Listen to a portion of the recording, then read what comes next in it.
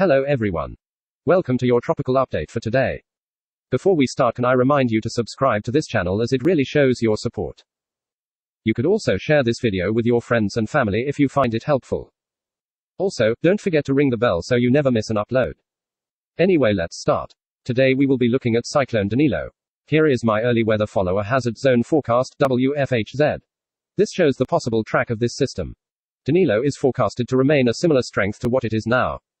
It is expected to move west towards Mauritius. From Danilo, Mauritius can expect to see a higher chance for rainfall and stronger winds. These winds could be around 20 to 35 knots. Here is the spaghetti models for Danilo. They show that tropical cyclone Danilo will remain at similar strength or slightly weaker as it moves towards Mauritius and surrounding islands. Unlike yesterday, the models are in a lot more agreement. You may remember yesterday that we were not sure on the track and intensity as so many different models were saying different things. I'll keep you updated if anything changes. Here is the latest JTWC forecast cone for tropical cyclone Danilo. It shows that Danilo will pass to the north of Rodrigues with 40 knot winds. It should then start to weaken on its approach to Mauritius, having winds of 35 knots.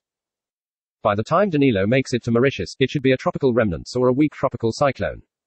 Well, that's all I have for you today. Hope you enjoyed. Remember to subscribe and ring the bell so you never miss an update. See you in tomorrow's update. Stay safe. Bye.